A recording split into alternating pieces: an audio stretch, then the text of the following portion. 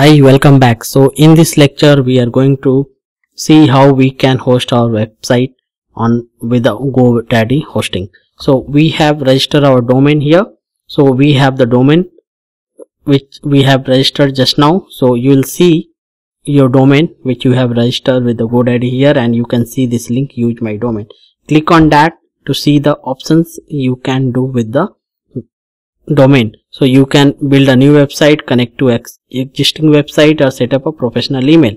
So we'll click on the build a new website. It will take you to the several options. Here you can use a website builder that we don't want managed wordpress that we don't want online store we don't want we want the hosting so that we can host our domain and we can create our own wordpress website. So you select here the duration for which you want to host your website. The hosting plan for minimum one uh, 12 months you select or if you want you can go for a trial for one month or so.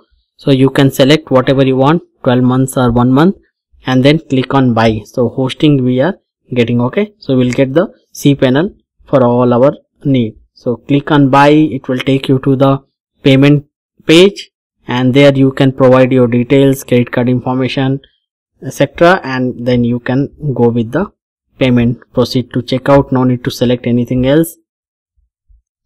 Click on proceed to checkout and then here you will see the final price and you just click on agree to following and place your order providing your credit card information here.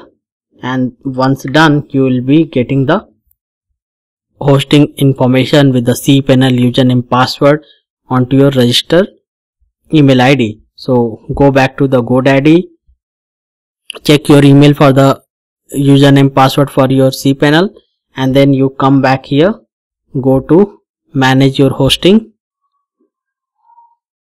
You will see this link manage your hosting and when you click on that you will see see it will show all your hosting accounts. So you will see here your website name and it will show you the cpanel manage and settings. You click on manage. It will take you to the cpanel there you will see all other options that you can use for your hosting.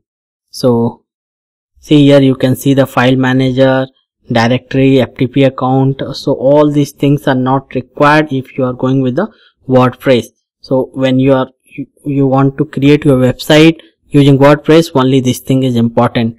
Web application so in the next lecture we will be seeing how we can install the WordPress on our domain with this hosting and we'll start uh, learning the WordPress from very basic and then we create a free website using the WordPress. So see you in the next lecture